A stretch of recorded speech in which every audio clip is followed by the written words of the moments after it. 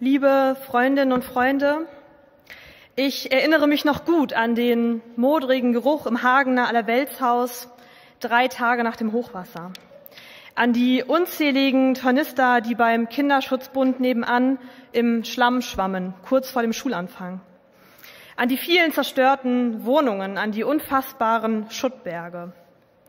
Erst vor drei Wochen sprach ich zusammen mit Thomas Kessler und Antje Grotus in Euskirchen mit einem Ehepaar, das sich im Hochwasser draußen vor ihrem Haus an die, ja, an die Metallleisten der Fensterrohrläden klammerte, sechs Stunden lang. Ein Wunder, dass die beiden das Hochwasser überlebt haben. Es sind diese Begegnungen, diese Eindrücke, die mir immer wieder bewusst machen, warum ich Politikerin bin. Weil ich Verantwortung übernehmen will, weil ich mitgestalten möchte, weil ich diese Welt zu einer besseren Welt machen möchte. Hagen, Altena, Euskirchen, Erftstadt. Die Menschen in diesen Orten haben erlebt, was die Klimakrise konkret bedeutet. Sie bedroht schon heute unser Leben und noch viel mehr das Leben unserer Kinder. Umso unerträglicher ist es für mich, die scheinheiligen Beteuerungen zum Klimaschutz von Schwarz-Gelb im NRW-Landtag zu hören. Sobald es um konkreten Klimaschutz geht, bremst und blockiert diese Landesregierung. Mit der Politik der Interessensvertretung für RWE und der Blockade der Erneuerbaren muss endlich Schluss sein. Lasst uns alles dafür tun, dass NRW auf den 1,5 Grad Pfad kommt. Wir werden in Zukunft häufiger solche Extremwetterereignisse erleben. Deshalb will ich dafür sorgen, dass wir den Katastrophenschutz noch besser aufstellen. Wir brauchen Vorsorge vor Ort mit Katastrophenschutzbedarfsplänen.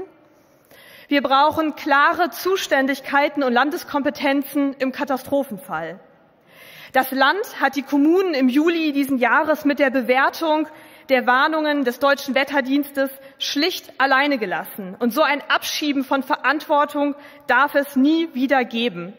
Wer sich für Regierungsverantwortung entscheidet, muss auch bereit sein, in einer Krise Verantwortung zu übernehmen.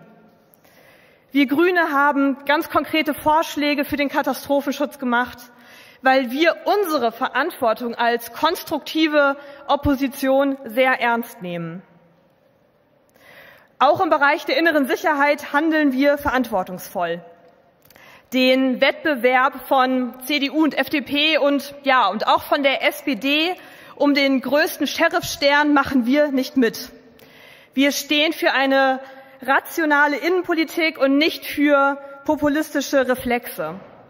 Für eine Polizeiarbeit, die sich an Wirksamkeit und Verhältnismäßigkeit orientiert.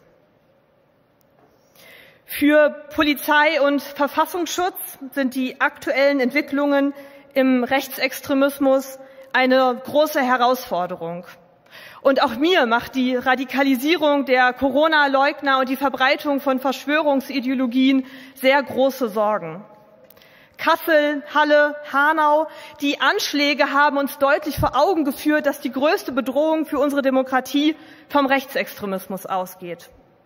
Unsere Antworten darauf sind eine bessere Analysefähigkeit der Sicherheitsbehörden, der Ausbau und die Absicherung von Beratungsstrukturen, mehr Forschung, mehr Unterstützung der Zivilgesellschaft und vor allem Unterstützung für diejenigen, die angefeindet und bedroht werden. Ich will zum Ende meiner Redezeit noch drei, drei weitere Orte hinzufügen. Lüchte, Bergisch Gladbach, Münster. Die Namen dieser Orte sind verbunden mit brutaler Gewalt, mit sexualisierter Gewalt gegen Kinder. Die Kindesmissbrauchsfälle verpflichten uns zu mehr Kinderschutz in allen Bereichen. Wir brauchen starke Netzwerke im Kinderschutz vor Ort. Wir werden die Polizei technisch und personell optimal ausstatten und lasst uns eine kindgerechte Justiz und Verwaltung schaffen, damit Kinder und Jugendliche gehört und beteiligt werden. Jedes Kind hat das Recht auf eine Kindheit ohne Gewalt. Dafür zu sorgen, liegt in unserer Verantwortung.